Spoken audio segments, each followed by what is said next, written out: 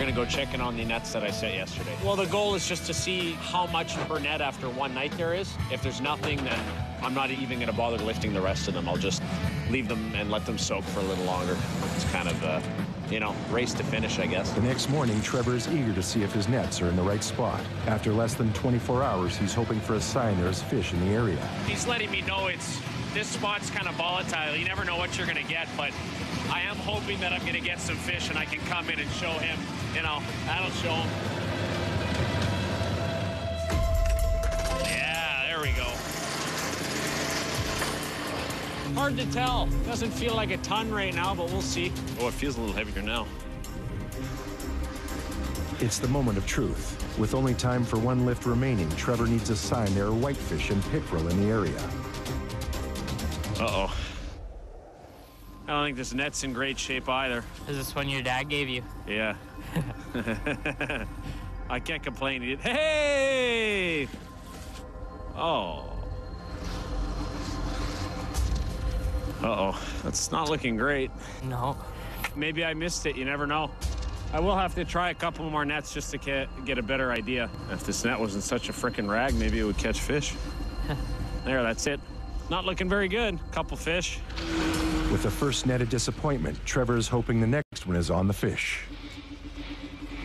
Well, this isn't looking too good. Nope, not at all.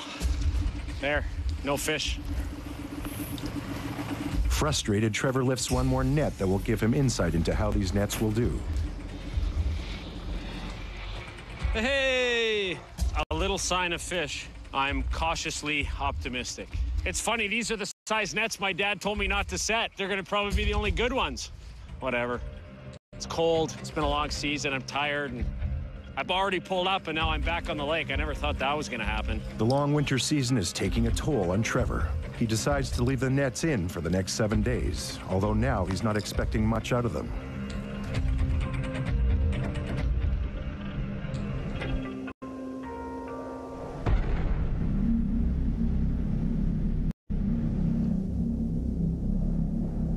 It's officially the last day of the winter fishing season. All crews must have their nets out of the water before the sun sets. Leaving them any longer under the ice would be illegal.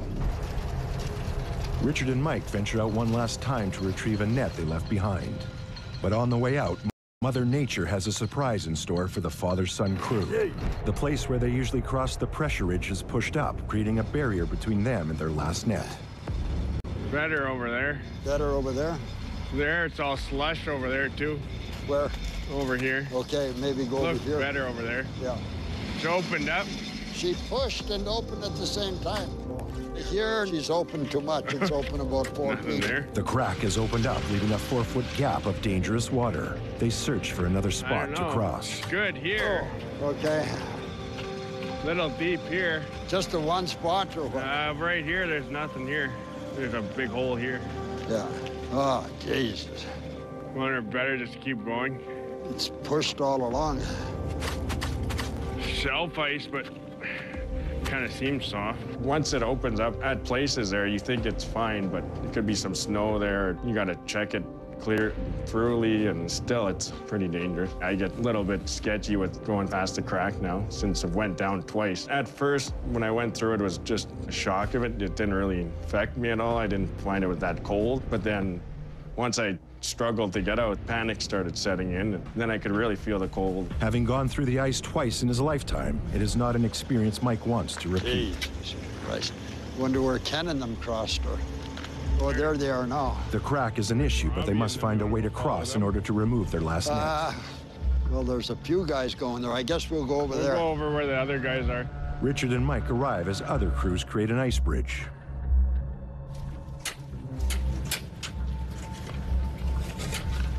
Perfect, perfect. Okay. It's finally time to try a crossing. Mike crosses on his snowmobile first to check the ice. Meanwhile, Richard positions the bombardier, but he's having issues. Jesus Christ. Pretty dicey there. Don't want to go off the path. Lining it up perfectly is key to not going through the ice and ending up at the bottom of the lake.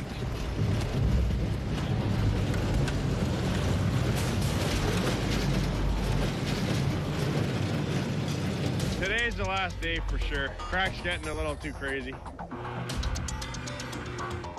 You have to use a big one, I guess. Yeah. This time they have come prepared and brought the longer hook to reach their net. Okay.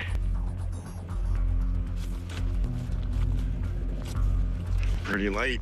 Oh, Yeah, that, well, that's good. Mike hooks the line on his first try. It's frozen, I guess. Gee, But there's an issue. The net is stuck. that's what I Figure it getting caught there. Uh, you can check on the other. Maybe it didn't go down. Mike checks to see if the other end of the net is caught on something, I try to pull from here? Okay. but it may be frozen into the ice. This is a worst case scenario for the Bjarnasons. What the hell? No! Can't pull much there. No! How much can you pull? Not much!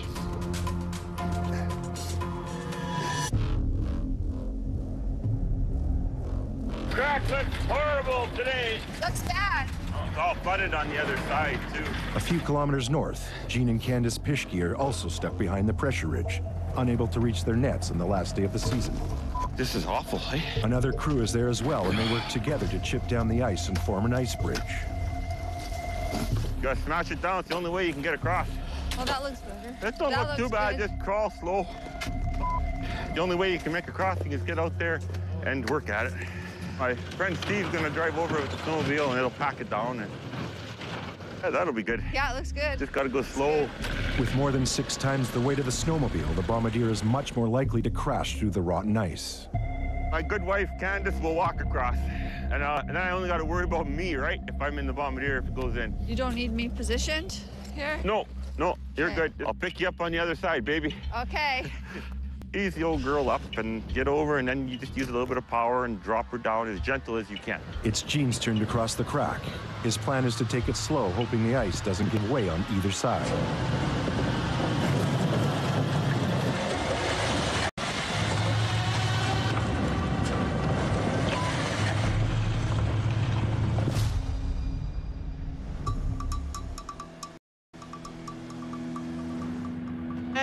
Anxious. It's kind of half excited and half nervous. The entire Christensen crew loads up to head out to the Narrows. Today, they will see if they place their nets in the right spot. Hurry up, old man! Convoy's ready to move out. Sad day in Mudville. It's a big job, and so today Trevor joins Chris to lift and remove nets on the last day. We're ready, I think. Everyone's looking at each other, they're wondering what to do. So it's time to load them up and head them out. Finito, the final fantasy. We're done. It's been 135 days. It's time. Let's get it done, get back in. Try not to break anything. The Christensens are helping out a sick fisherman fill his quota. They are counting on a good haul of fish today to finish it off and help save their friend's business. Yeah, we have to knock it down. Rather go here, there, and throw it in that slush, The guys form an ice bridge to drive the bombardiers across. right where you're standing. This is the place to go. Over here, Riley Moore. I came here yesterday and the bombardier went. boom And where Trevor is there. Yeah, I came Hey, across Pete. here yesterday and it's there's a big buildup of ice here, so the bombardier came sideways like this, and then sideways again on this side. It's just a bad place to cross, but it's still the best place we can cross. I got to bring the caboose back, so what? I, I don't want humps. I'll go across this for now. Okay. Trevor takes the lead on the difficult crossing. Get out of the way! Okay, here goes.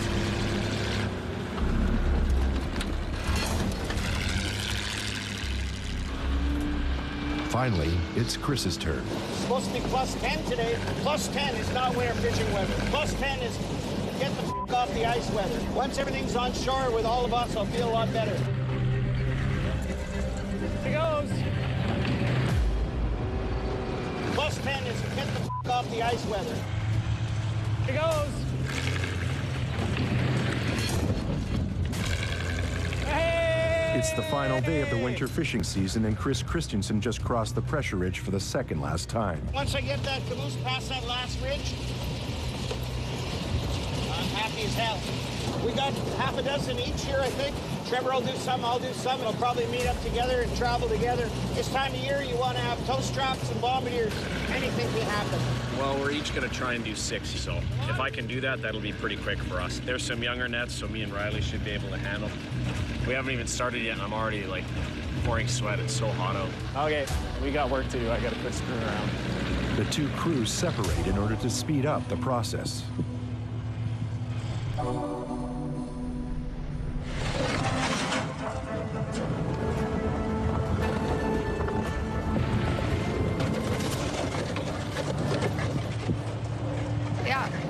Good. Near Gimli Harbor, Gene and Candace breathe a sigh of relief as they make it across the pressure ridge.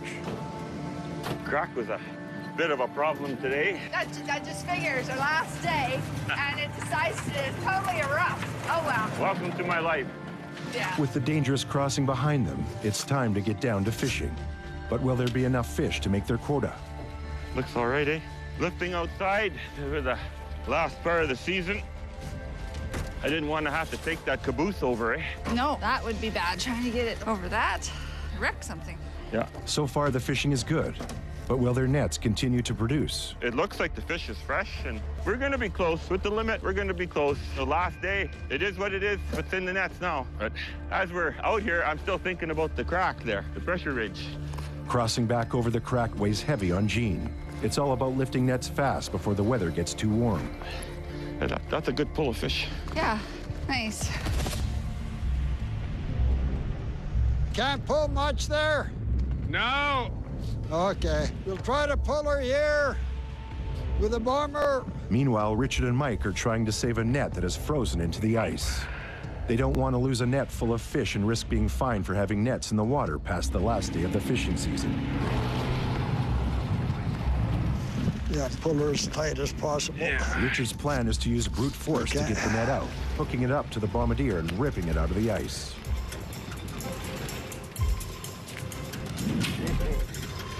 Jeez.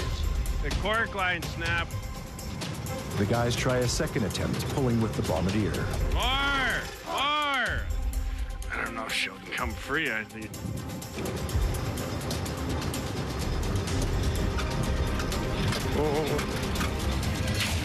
Ah, Jesus Christ. She won't get past that spot here. Jeez. Keep snapping. Try the other end or what? Uh, if we can get the other end. I couldn't get it. No, but uh, I mean the line. Yeah, I know. I got the lines up. Okay. The guys try lifting the net from the opposite end. It may be the place where it is frozen into the ice.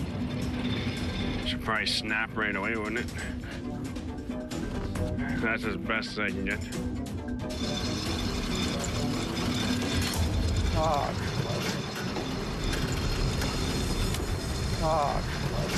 Richard and Mike are attempting to free a net that is frozen into the ice. oh, she's froze.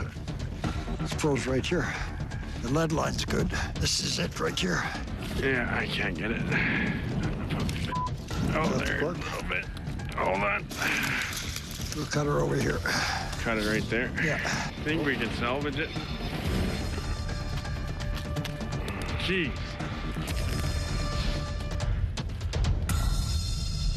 Oh, just glad to be almost done. Trevor and Riley have split from Chris's crew so everyone can finish the day sooner. Luckily, the catch is looking good with their friend's quota in sight. It's beautiful. But the temperature has risen to 11 degrees Celsius, making it harder on the equipment and more dangerous for the fishermen. We just went through their old hole, actually, which is what I probably should have done in the first place, but now you know it's getting warm. With their lifting caboose, they have to auger on the opposite side of us. I guess I'm used to doing it the old school way. These nets are too good. We can't pull these up. Oh, wait, we have to. Wow, these are killer nets. Meanwhile, only a mile away, Chris and his crew are ready to lift their final nets of the year. They hope they are heavy with fish as well. We got three here, three over there. And they can get the rest. Sounds good. Do you want to tie two together or no? We can? But let's tie two together. Sure. Chris decides to lift two nets at the same time, speeding up the lifting process. He wants to get the equipment off the ice completely, including his large lifting caboose, before the temperatures get any warmer. We tie the two together because we're not pulling them back under. We can just pull two up at once inside the caboose, so it's a little faster. Probably way faster than Trevor. Not because we have more guys. Hey, how's it going here? There's this great big lake and it's filled with fish. We don't know what to do. The fishing is excellent, and the caboose makes fast work of lifting nets, a hopeful sign it'll make the sick fisherman's quota for the year. The best thing about this winter now ending is we'll have a time to refocus and think about where we're going to go next season. I'm going to embrace change from here on.